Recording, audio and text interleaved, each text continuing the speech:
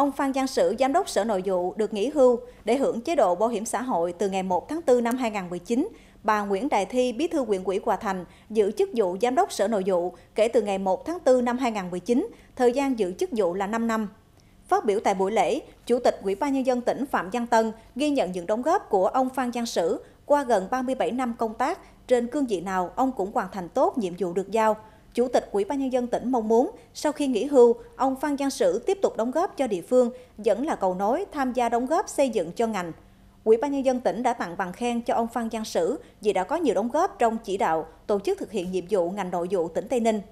Chủ tịch Ủy ban nhân dân tỉnh Phạm Giang Tân mong muốn bà Nguyễn Đại Thi, tân giám đốc Sở Nội vụ trên cương vị công tác mới, phát huy tinh thần đoàn kết thống nhất, nỗ lực hoàn thành xuất sắc nhiệm vụ được giao.